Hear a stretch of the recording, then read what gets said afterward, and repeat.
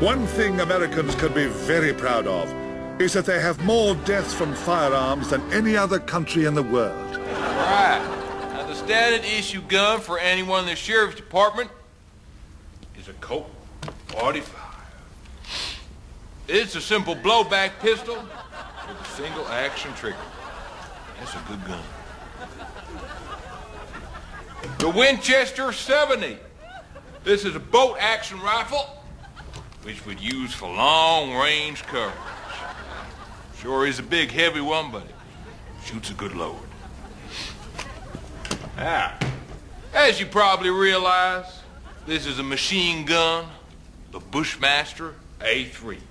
Now, you really got to know what you're doing when you hold a big, powerful weapon like this, or it'll spray everywhere. And finally, I thought you all might like to see one of my own guns. I got a small personal collection of 2,000 guns. This is the Barrett 50 caliber, the biggest semi-automatic weapon you can buy. It's a beast. Oh.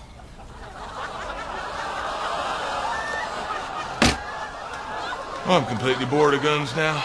I need to go and do something totally different.